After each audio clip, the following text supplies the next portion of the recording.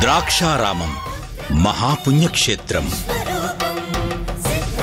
నమశివాయ అనే పంచాక్షరీ మంత్రాన్ని రుద్ర నమకానికి హృదయస్థానంగా భావిస్తారు భక్తులు.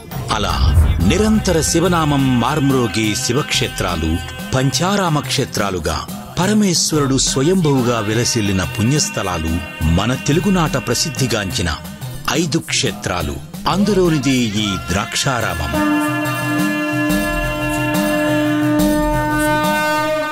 అద్వైతాచార్యులు ఆదిశంకరుడిచే ప్రతిష్ఠించబడిన అష్టాదశ మహాశక్తి పీఠాలలో ద్వాదశ పీఠం అమ్మవారి నాభి ప్రదేశంగా పేర్కొనబడిన దివ్యస్థలం ద్రాక్షారామ క్షేత్రం. ఆ శక్తి స్వరూపిణియే మాణిక్యాంబ. ఆ తల్లి అంబత్రయంలోని మువ్వురిలో ఒకరు.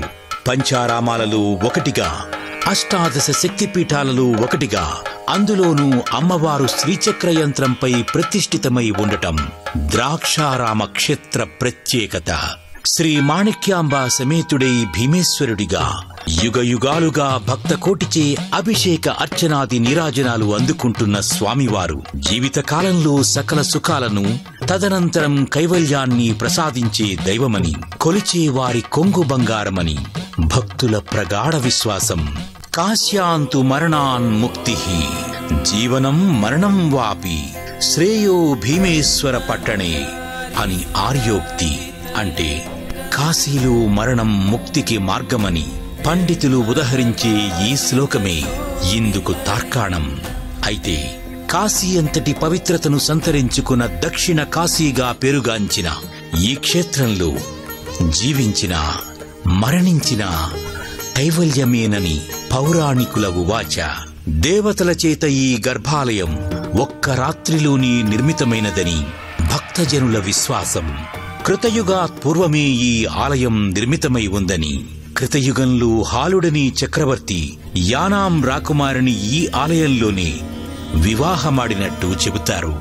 త్రేతాయుగంలో శ్రీరాముడు ద్వాపరంలో శ్రీకృష్ణార్జునులు ఈ ఆలయాన్ని దర్శించుకున్నారట.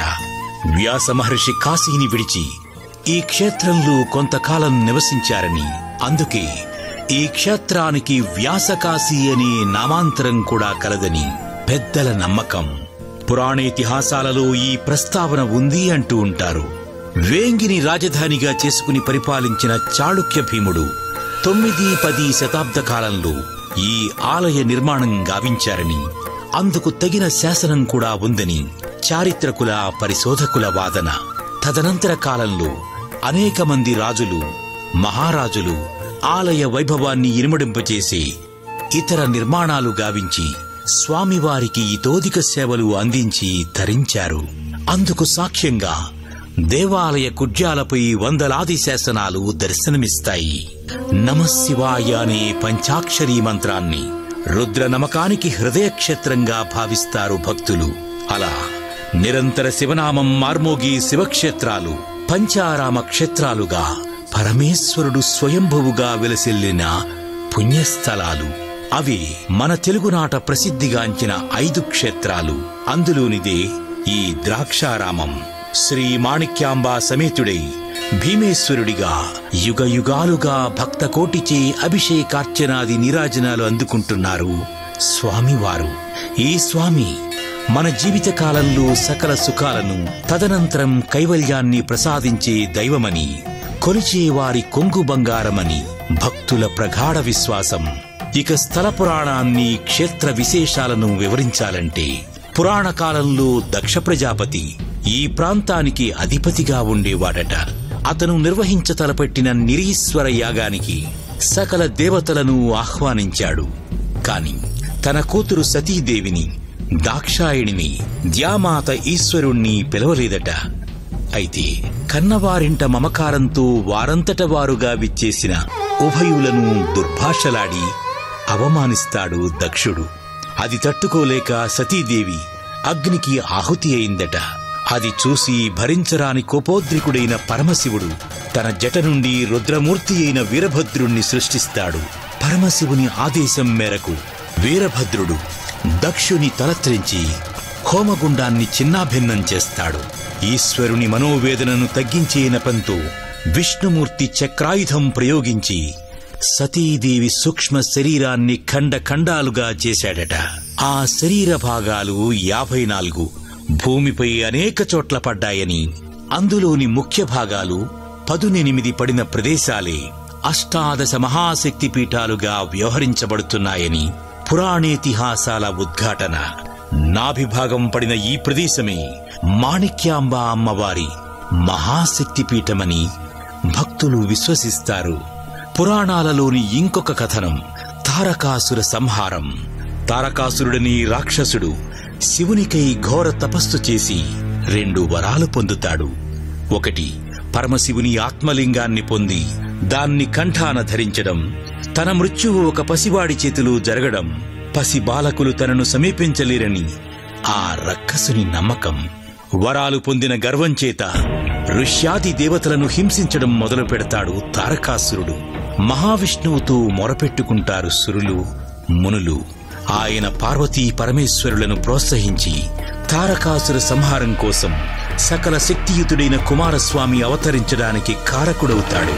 కుమారస్వామి దేవతల సేనాధిపతిగా తారకాసురునితో యుద్ధం చేసి అతని కంఠంలోని ఆత్మలింగాన్ని ముక్కలు చేసి అతన్ని వధిస్తాడు.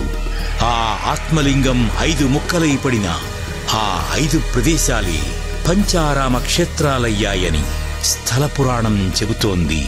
ద్రాక్షారామ క్షేత్రం ఆ ఐదింటిలో ఒకటిగా విరాజిల్లుతోంది.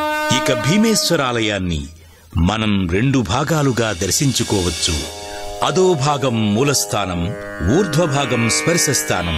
స్వామివారి అర్చనలు అభిషేకాలు పైభాగాన్న ఇక్కడే జరుగుతాయి. ఈశాన సర్వ విద్యానామీశ్వర సర్వభూతానాం బ్రహ్మాధిపతి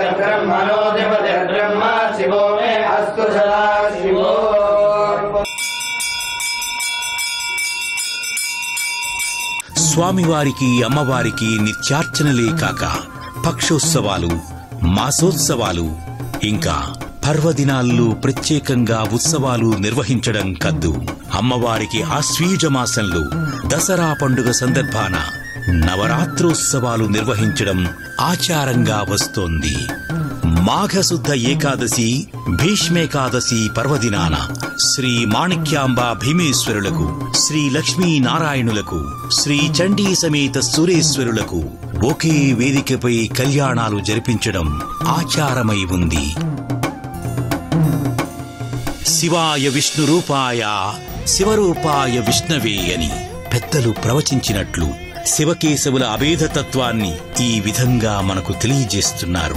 ఇక విశేషమైన మహోత్సవాలలో స్వామివారి రథోత్సవం చెప్పుకోదగింది.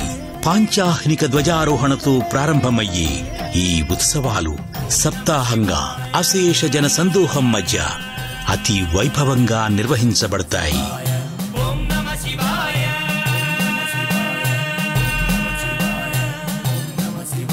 ఇక నిత్యాన్న వితరణ ప్రసాద వినియోగం నిత్యాన్నదాన సత్రంలో సరేసరి ఇదొక చక్కని సంప్రదాయం.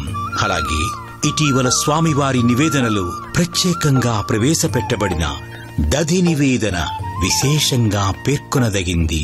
ఇక్కడి గోశాలలోని గోక్షీరంతో తోడంటిన పెరుగును స్వామికి నివేదించడం ఇక్కడి ప్రత్యేకత.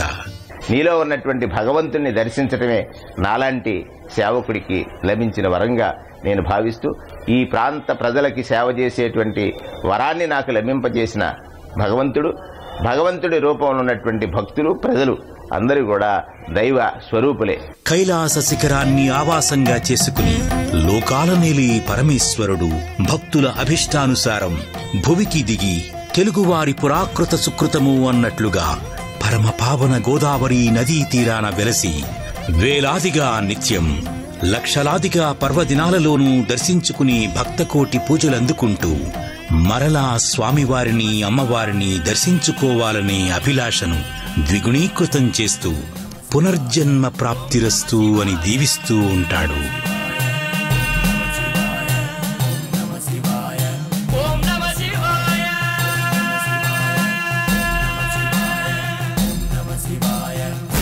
ఇవన్నీ కూడా భీమేశ్వరం మా వెనక మా పక్కనే ఉండి నడిపిస్తున్నారు అన్నట్టుగా అంత ఇంత అత్యంత వైభవంగా ఈ కార్యక్రమాలు జరగడం నా అదృష్టంగా భావిస్తున్నాను. మంచి విశిష్టత కలిగినటువంటి శైవ క్షేత్రం కాబట్టి ఇక్కడ దర్శనం కోసం మేము వచ్చాము. ఇక్కడికి వచ్చి కోరుకున్న తర్వాత ఏ కోరికలైనా నెరవేరుతాయి. ఒక్కసారైనా ద్రాక్షారం టెంపుల్కి ఒకసారి దర్శించుకోవడానికి తప్పకుండా అంటే తప్పకుండా రావాలండి. ఈ సేవ చేస్తుంటే చాలా హ్యాపీగా ఉంటుందండి. ద్రాక్షారామం క్షేత్రం నిరంతరం భక్తులను తరిస్తూనే ఉంటుంది. అక్కడ వినపడి ఢమరుకనాదం భక్తులను భక్తి పారవశ్యంలో ముంచెత్తుతూనే ఉంటుంది. దక్షిణ కాశీగా ప్రసిద్ధి చెందిన ఈ శైవ క్షేత్రం ఆంధ్రదేశాన్ని యావత్ దేశాన్ని సదా సంరక్షించుగాక.